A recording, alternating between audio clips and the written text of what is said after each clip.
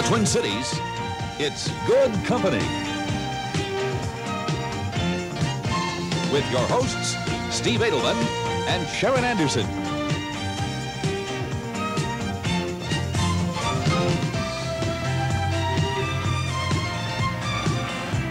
With roving reporter Gary Lumpkin. And the Good Company Company.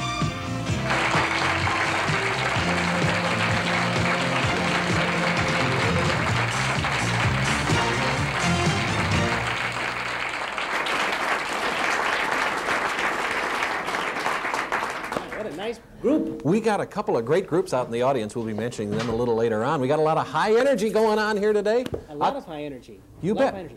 I'm Gary Lumpkin, and this is Gary Schindel. That's we're- right. We're not normally here. As a matter of fact, we're not normally anywhere in the same place together.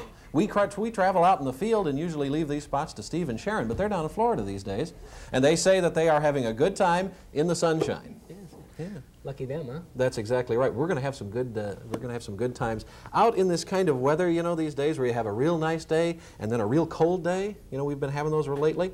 Sometimes it, we can really feel bad about that. But there's a place, Cambridge, Minnesota. We're going to be going there a little later on, where they just love it, and they love it because that makes for some great maple syrup. That's Hot, later on. Hot and cold, hot and cold, they like that. That's exactly right. You know, we talked about Steve and Sharon, and I know they're getting a little rest on their uh, vacation, and I wonder if they're getting any exercise. I doubt it. I Maybe doubt- some of this, eating, and a little of this, putting on their their suntan lotion. I'm a when they- little jealous. Well, when they come back, they better watch our next story because let me show you what happened when we visit a very special infant exercise class at the St. Paul YWCA. Now, it's a class that's been going for some time and it's extremely popular. Once a week, these new mothers and their babies attend a one hour infant exercise class at the St. Paul YWCA. Each session begins with the moms massaging the babies. Certainly a most pleasurable activity for everyone involved. The instructor, Renee Bruce, is a child development specialist, and she demonstrates on a doll exactly what the mothers should do. Now, the purpose of the massage is to relax the babies and remove any tension they might have in their muscles. This is important since the next phase calls for mom to move the limbs around and really stretch those muscles out. The idea here is to counteract the effects of the babies being in the fetal position for prolonged periods of time. Good for the baby? you betcha. But the class is really designed to give quality experience with the mother. One of the best experiences that they can, you know, have. The, the moms are talking with the babies, cooing with the babies, touching the babies the whole time that we're in the class.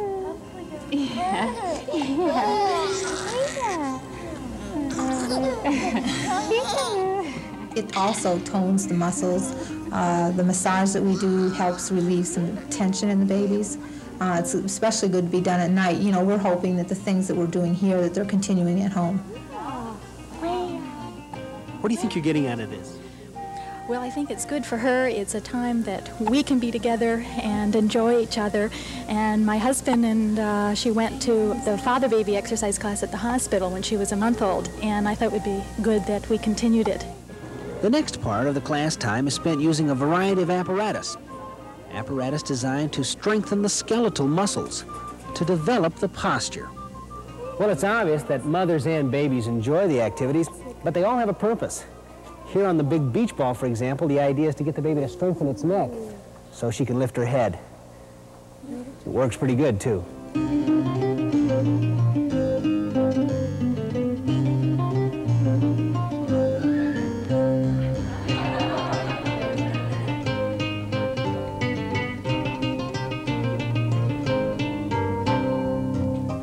The class has been going for about 30 minutes now, and it's been fun.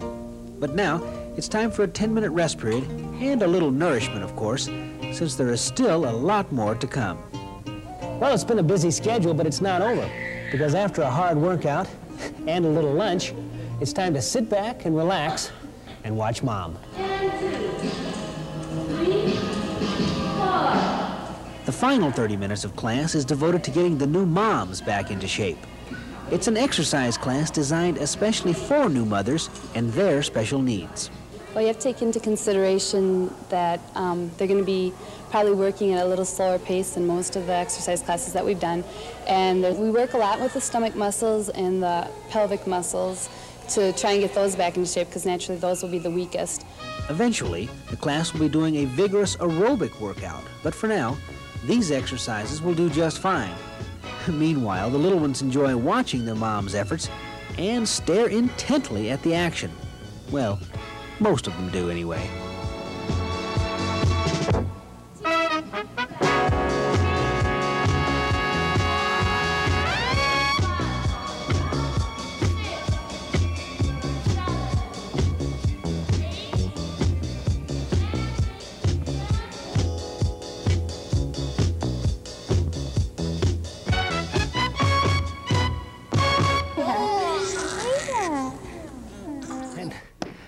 Right there at a youngster that is a very happy baby indeed. And uh, I want to mention that the YWCA has a variety of programs. What makes this one especially nice is that the mothers and babies can be together all the time. And if there are older children, there's also a daycare center available. But now, taking a look at that little youngster right there, he was such a joy that we asked he and mom to come on to the show with us today. And they are here with us. This is uh, Tricia Bragstad and Christopher. Welcome to the show. Thank you very much. We're glad to be here. Well, I must ask you that uh, the class was uh, certainly enjoyable. We got that very clearly from Christopher. But what were you getting out of it? What have you gotten out of the class? Well, I think one thing I got out of it was improved muscle tone. You saw us exercising in the last part, and we really do get a workout. But more than that, uh, Christopher just gained so much socially from the class, and it was just fun being there with him and sharing that. You know, it, it's hard to imagine. Uh, he's just barely six months now. Right. And the class was eight weeks. Right. Someone that small, and they can even start younger, really benefiting from, from, from this class. But you've noticed improvements? Specifically, what have you noticed? Well, from the very first class, he spent most of the time during while we were exercising looking at little Lindsay next to him. So he just loves seeing the other babies. It just makes him so excited. And we've learned exercises that we do with him at home. He also loves this microphone, I can tell that right now. Yes, he does. While the, while the tape was running, he was making some good sounds. You anything you want to add to this, Christopher? well, maybe not. huh? He'll just, he'll just eat it. The, um, uh, the program now is designed for up to age six months, and, Right. and now he's, he is a graduate of the program. What does he do next? Well, next he starts swimming. Um, the end of this month, he'll start a swimming class, which I'm excited about because my husband will be able to join us too. It's a Wednesday evening class. And he'll also take Gym Babes, which is a continuation in the sort of exercises that you saw there, but for the older baby. Okay. How, how about you? Um, uh, do you think you got in, in pretty good shape in just the, the, the short workouts? Because they were f- fairly short, weren't they? They were short, but it, after you get sore muscles, you realize what bad shape you're in. So it stimulates you to, to work out on your own. Yeah, because I know the class, as we mentioned, was designed for new moms and a special Right. set of exercises. Right. stuff. mhm. Yeah. I want to thank you for being here, and I want to mention one other thing as well too. That the St. Paul YWCA has a special sample day coming up. Um, I believe it's Monday, March 14th, and there's a uh, name and address and phone number. It's at the St. Paul YM, uh, YWCA. Phone number is 222. 3741 and, and the sample day means everything is free all of the activities all the facilities and you can go and, and see exactly what's offered thank you very much for being here and we'll be right back with more good company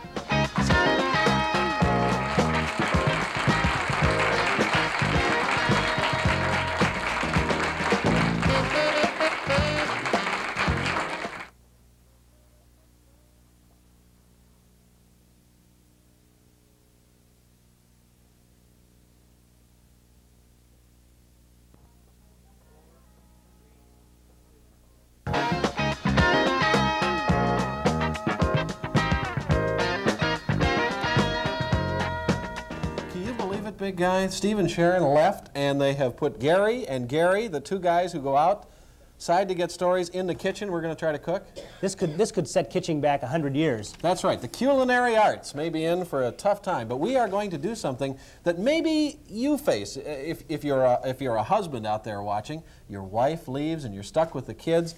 What the heck do I make? Or better yet, what can I teach the kids to make me, huh? Maybe, maybe we've got a chance here because this is very simple. I'll tell you, yeah, we're going to put together something called confetti beans. Now, neither of us know beans about cooking, but we are going to put together confetti pork and beans. Now, I mean, you know, that's, this is it for the bachelors, right?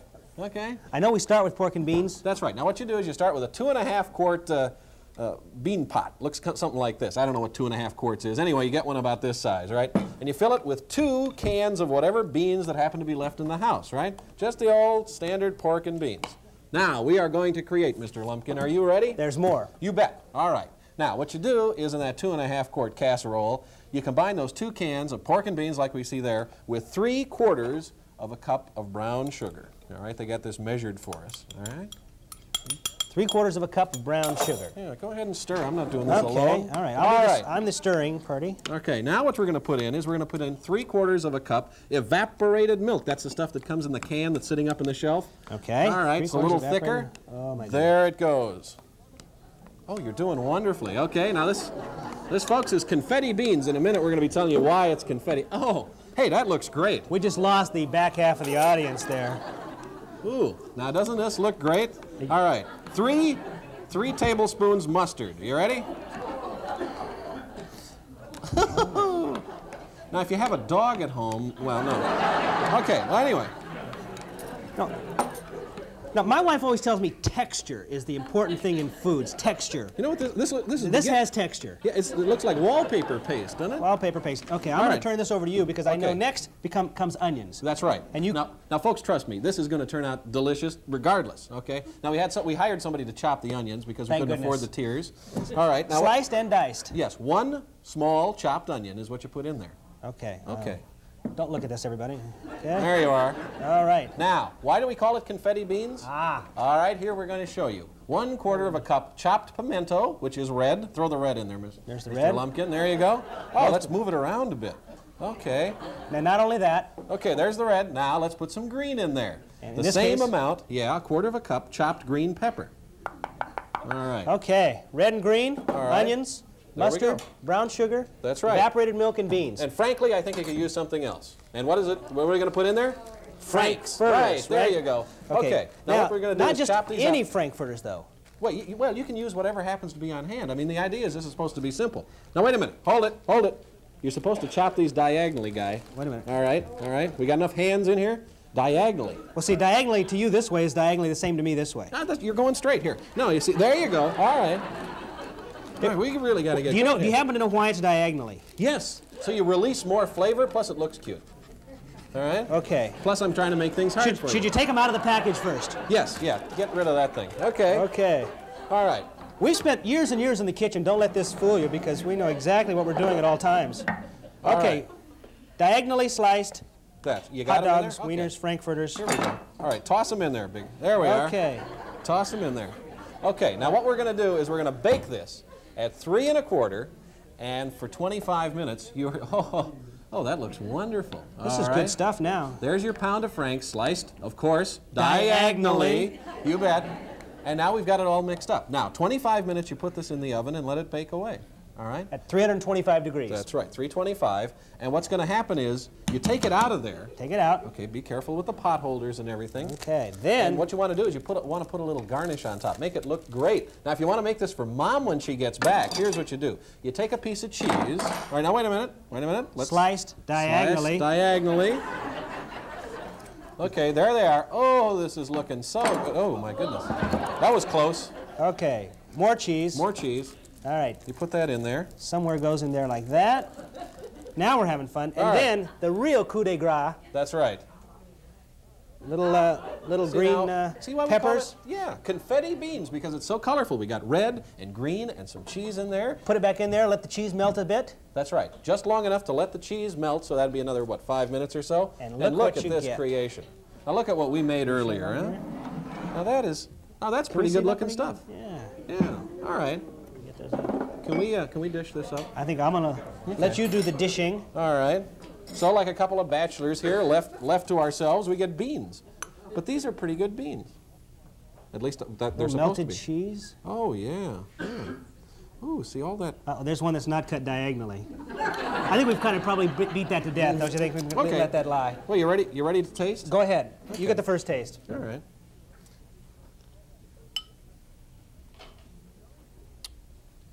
That's pretty good. I'm telling you.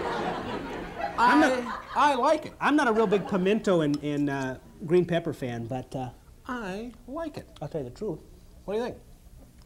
That's good. The, it's, it's, it's a little bit sweet. Maybe it's the brown sugar or Yeah, the brown sugar adds something. The onions add a, add a little bite to it, as do the peppers, and it just spices it up just a little bit. You know, people think when we get up here that we're just fooling around, that we have to say it tastes good, right? Right. That's not true. No. Ma'am, would you ma- just come up here, please? Come on. right? Come on up. Okay, just come right here. Now this this is a lady who looks like she knows how to You cook. were laughing. You were laughing at us, and now we're going to put. You, what is your name, please? Dorothy. Well, Dorothy. Now wait a second. Dorothy, come on. Here we go. Are you Here ready, it comes. Dorothy? Here it comes, Dorothy. Okay, How long's here, it? here comes the train. All right. Delicious. Delicious. Now see.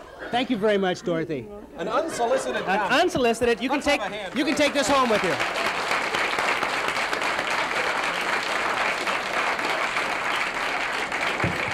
And, and people think we make this up. I Isn't that amazing?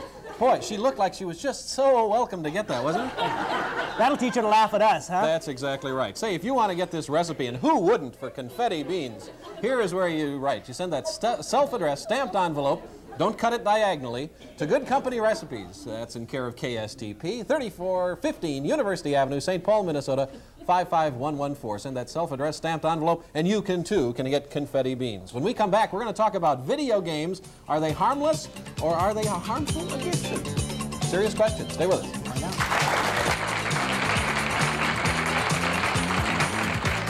Tomorrow on Good Company, the man we all remember from Camelot, Robert Goulet, will be here to guest host the show. And a Good Company viewer gets a beauty makeover in order to surprise her husband. Also tomorrow, we'll meet Rafe of One Life to Live, actor Ken Meeker. Coming up next, we'll find out what effects video games have on our kids.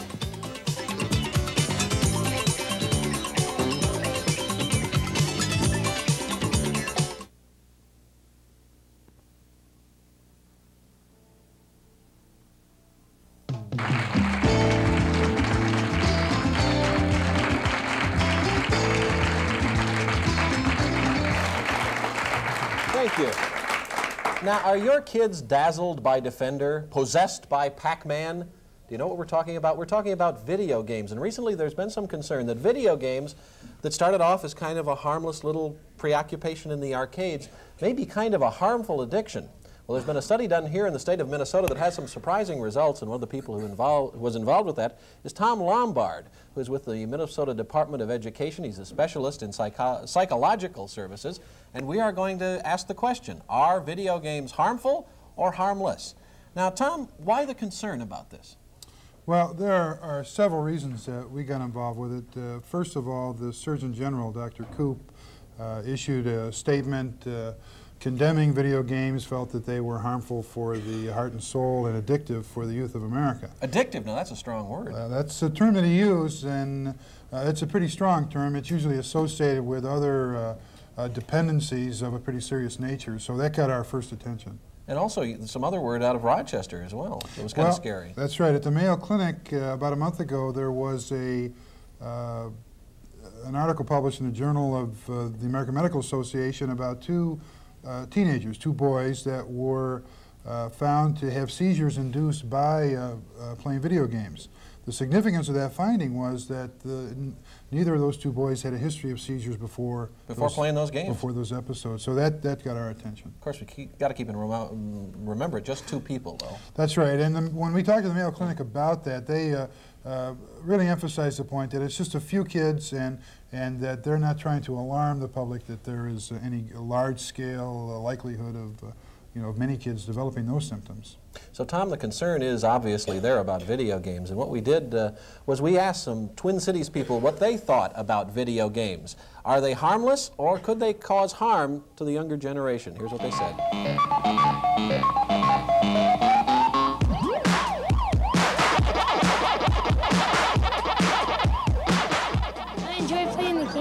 Games because they're fun and I mean, they're like it's just fun trying to get the get the things and killing them and stuff. The main thing when my son or daughter go out, especially my son, wants to do is play video games. It's always, Dad, give me a quarter, give me a dollar, and you know how that goes. Uh, I don't think it really harms them. I think they maybe spend a little more money on them, but as far as harming, no, I don't think so. I think it keeps them out of trouble.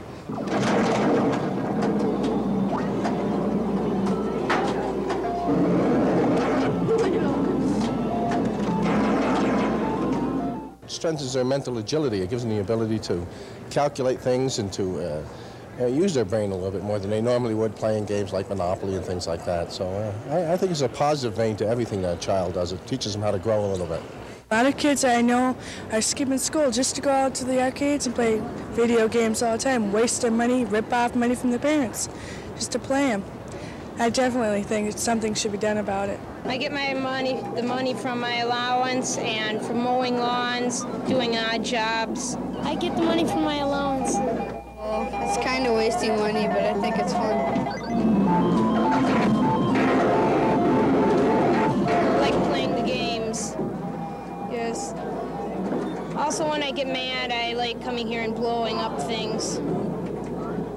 Gets a little of the pressure off.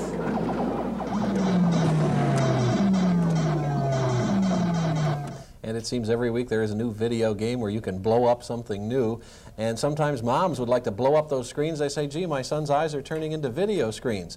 But the Minnesota Department of Education has done a survey that actually took a look at how harmful these games are. And Tom Lombard, who is with us, what did you find out?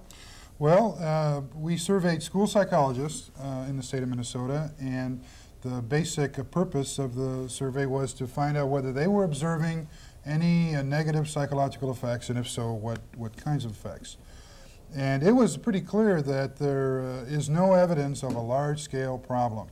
Uh, however, at the same time, uh, there were psychologists who did report some kids do have uh, problems uh, playing the games, different kinds of problems, different kinds of effects, but there, there is some concern in some quarters, but it's not a large-scale problem. So it isn't a big. Now, if I'm a parent, does that mean I should be concerned if my son is spending a little time at the video arcade? Well, um, like with so many other kinds of activities, whether you're talking athletics or um, uh, other kinds of recreational activities, you know, it's possible to spend uh, too much time on them. And I don't think uh, video games are any different in that respect. You mean like, like going out for band or maybe uh, on, being on the football team? Those too can be consuming. Well, th those uh, activities have a little more social acceptability to them. Right. Uh, some people associate uh, playing uh, uh, arcade games and video arcades is similar to pool halls, and pool hall image has sort of a negative connotation to it. So. Uh, to compare playing the video games with school-related activities is, is a little is a little different, but the same idea applies, though that they can occupy too much of a of a kid's time and it, uh, that is happening to some extent. Now, one of the things that I think is, is peculiar to video games is this penchant that some of them have for violence. Somebody going and running over, there have been games where you run over people or hit them with your tanks, uh, killing and all sorts of things. Can that be harmful? Well, uh, one of the reasons that I was interested in surveying the psychologists was I, had a, I felt that it was. Uh, I felt that uh, some of the games, particularly the early ones, had uh, a very pronounced theme on violence. And I had observed some behavior in arcades that uh, I felt, uh, well, will this behavior generalize outside the arcade setting? Uh, it does bring out some uh, aggressive uh, thinking and perhaps even a preoccupation with aggression. So we had the question. Uh, some of the games certainly do play on that, but I think the a remarkable thing there has been quite a bit of attention played to the violence aspect of it. And in the last year, there's just been an enormous turnaround in the theme for new games that are coming out. In other words, the manufacturers are, are making a change that way. It certainly appears that way. The, the new games that are coming out don't have violence as the theme, don't have shoot 'em up, bang, bang types of themes. Uh, they really uh, uh, seem to be putting a premium on entertainment. We're talking with Tom Lombard, who's done a, uh, a, study on video games. Are they harmful? And when we come back, we are going to give you a list if you are a mom or dad concerned about this. Is your son a video addict or your daughter? We're going to have a checklist for you when we return. Stay with us.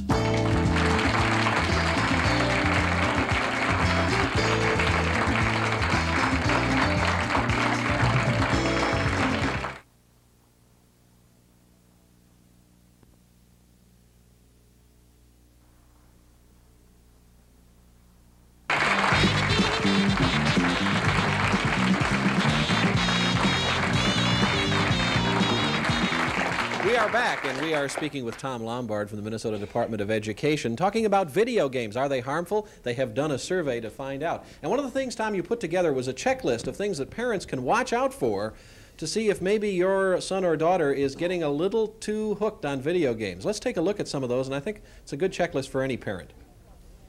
First of all, you say loss of consciousness while playing. Now that's pretty scary, Tom. Well, there are the uh, some children who uh, who have uh, the two cases in the Mayo Clinic who have gone into seizures, and loss of consciousness is preliminary to that. Is that kind of like a trance-like state where you're just riveted to the to screen? I've seen that some places. Uh, yeah, that would be a good description. of Or is it more like out. tuning out, like we just see right here? Uh, blacking out uh, or temporary disorientation would be another example. Uh, uh, no, obsession with the game theme is an important, uh, more Now, how would I see that as a parent? Well, if your child just is playing the game when the game's turned off. Oh, You know, really? If uh, they're obsessed with the characters in the game, uh, so that they're, you know, making like uh, they're present right there. So mom and dad become Winky and Blinky, and sister is is, is Stinky or whatever it is in Pac- Pac-Man. Huh? Now what? Now some of these other things. Most of the time spent on the game. In other words, if they're spending their evenings playing the game or off at the arcade. Well, an inordinate amount of time. Yeah, and, and the final one obviously would be a signal: stealing money to play games. Right, if you're finding money missing from your wallet or your or your purse, that's a sign. Okay, those are warning signs, and I think Gary has some questions.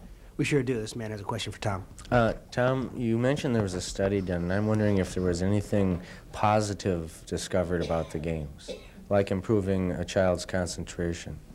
Well, we didn't have any report of that. Uh, uh, I talked with some of the psychologists who did respond to it, and many of them feel that it does improve eye-hand coordination.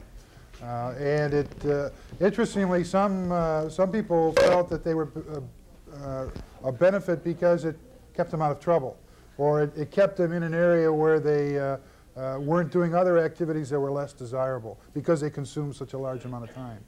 Thank you. Now we have another question here as well about placement, right?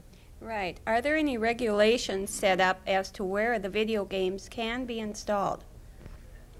There are none that I know of uh, at the state level. There are at a local level uh, licensing of uh, businesses, and I have read some articles in local papers uh, where they've tried to control when the hours of operation are, because there is an inclination for kids to skip school to play if they're open during the school hours. So uh, there has been some attempt at a local level in cities and communities to control the uh, operating hours, but not necessarily the content of the games. I haven't uh, observed any, any real in-depth uh, attempt to control them. We have another question up here. Uh, go ahead. Yeah, I was just wondering if you've ever actually played any of the video games yourself. Uh, only for research purposes. All right, thanks. well, now let me ask you a question. Uh, do you play video games? Yeah, quite a bit. What do you What do you think about this? Do you Do you see potential hazards? Well, I just think maybe if the kids are like unstable or something, but I don't. I don't really think so. No.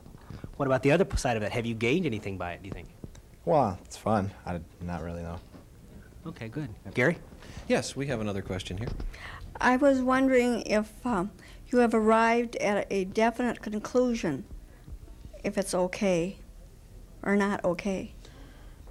I could give you my opinion on that, uh, and, and others might disagree. The Surgeon General might disagree, for example, but in my opinion, they are not a problem for most children. There are a few children who are going to have a problem playing, and parents should be concerned. The low seizure threshold idea that is something that they simply have to be aware of, although it's not going to affect many families. We have an, we have another question over here. Yes, sir. Yes, why does this tend to be a boys' game and not, you don't see many girls participating in it? That's true, isn't it? Uh, in the arcades, in fact, in the taped piece we showed, uh, it was almost exclusively boys, wasn't it? What about that?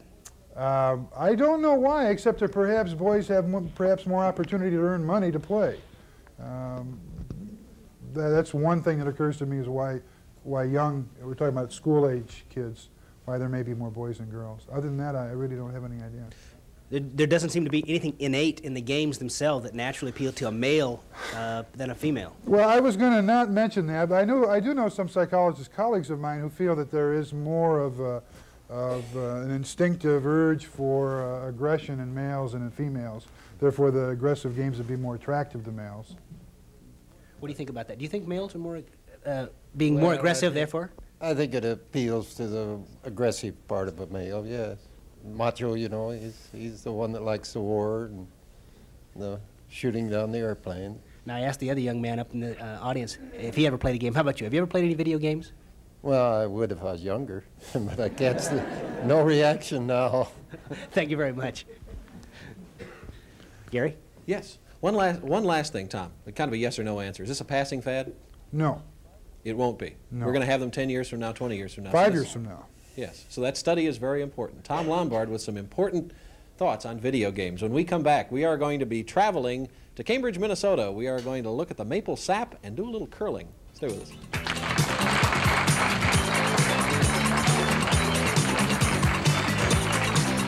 Next week on Good Company, on Monday, the queen of household hints, Mary Ellen Pinkham, will be here live in our studio. Tuesday, field host Gary Lumpkin visits a special hockey school in the Twin Cities. This one's between hockey playing moms and their sons. On Wednesday, we'll have some more of that Good Company specialty, the Super Bargain. Coming up next, we'll travel to Cambridge, Minnesota.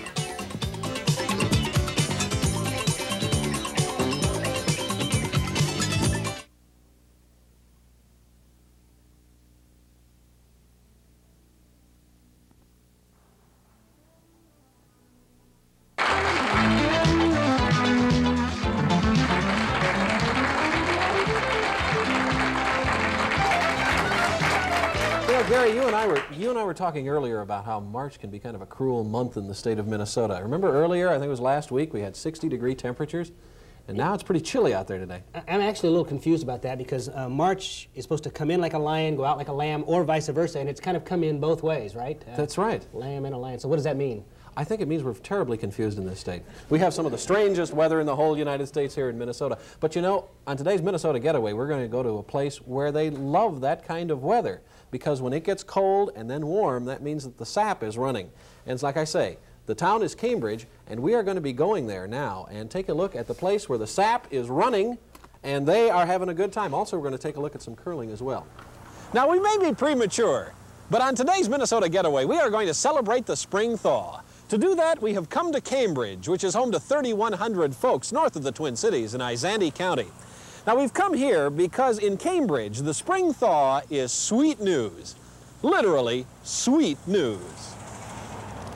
That's because Cambridge is maple syrup country, and those warm temperatures start the sap flowing. In the woods all around town, the maples are awakening again, and they yield Minnesota's sweetest natural treasure, sap that makes pure maple syrup.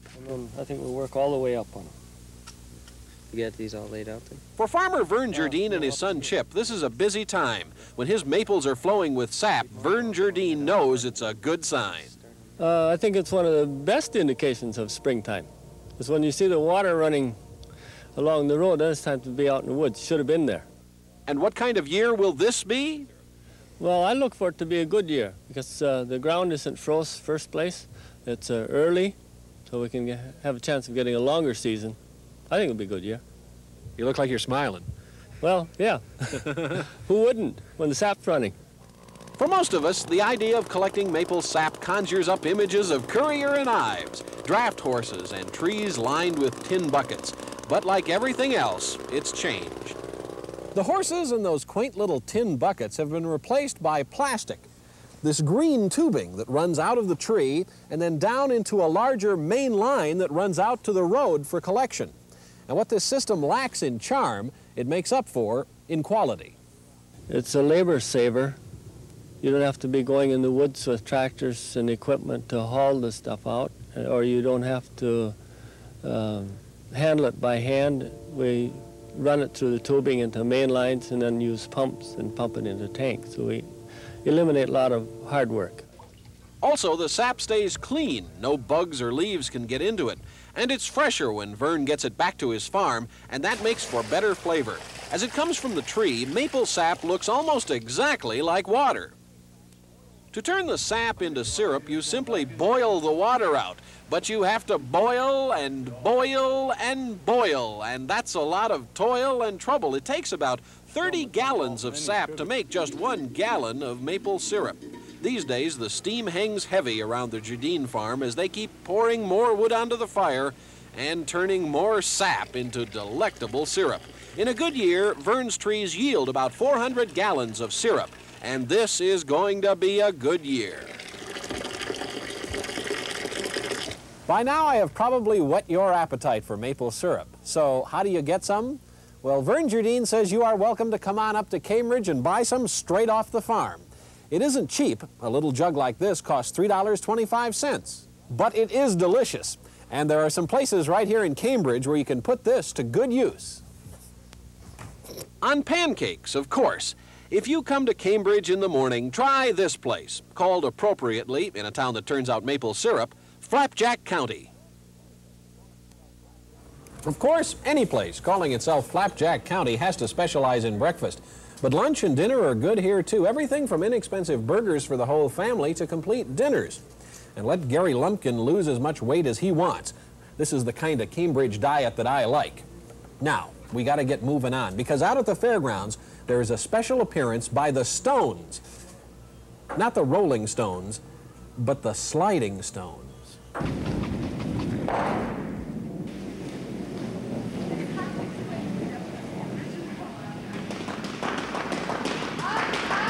By now, you must know that we're curling. You know, the sport that's a little like shuffleboard and bowling and darts and house cleaning all combined into one. The town of Cambridge got into curling just eight or nine years ago, but already this club has about 200 members and the rink stays busy almost every night. What's the appeal? Once you've tried it, you're hooked. When you first see curling, you aren't real impressed with the, the strategy behind it, but once you've curled for a, for a short period of time, you begin to understand a little bit more of the game and out with your friends a lot. Nice thing about curling is you can do it all your life. I don't have time to explain all about hacks and houses and dead rocks, but the object of curling is to land your team's stone closest to the bullseye in the ice. The sweeping, well, that temporarily melts the ice just a bit, makes it slicker, and allows the stone to travel further. Once you let go, it's the only control you've got. Folks take their curling seriously here, but they say the best part of the sport is just spending some time with your friends. And Cambridge is a good place for friends. There's a lot of things going on in Cambridge, and uh, we enjoy the community, and we're close enough to the cities so we can go down and get our culture every once in a while, and we still come back here and, and uh, relax and, uh, excuse me, in our lifestyle. And people from the cities can come on up and get a dose of curling. That's right. Last shot, huh? Your turn. My turn. Okay. Well, after spending a few hours in Cambridge, I have found out that you can have a good time here. If you, if you like it sticky, come on up for the maple syrup. And if you like things smooth as ice, try curling. Good shot, Gary. Good shot. Good shot. Good shot, Gary. All right.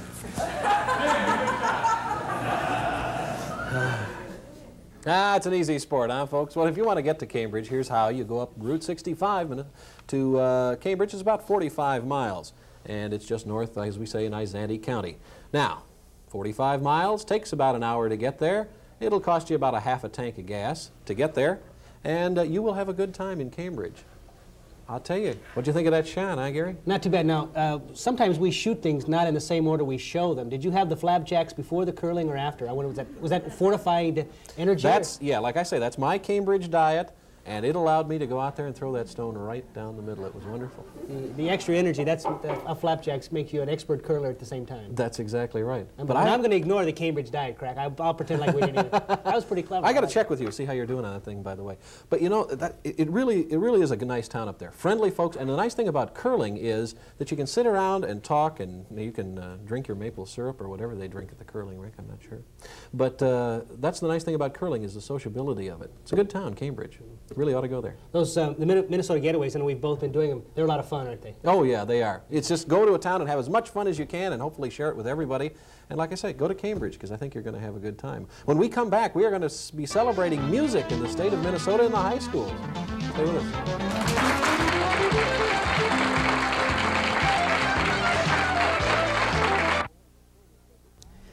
We're back again, and before we say goodbye, I think we should yeah. say thank you to some special groups that are in the audience. We have some people that came from 30 miles northwest of the Twin Cities in Albertville from the Albertville Golden Age. I want to thank you for coming. And also, the mass media students are here today from Totino Grace High School in Fridley. They are a good bunch.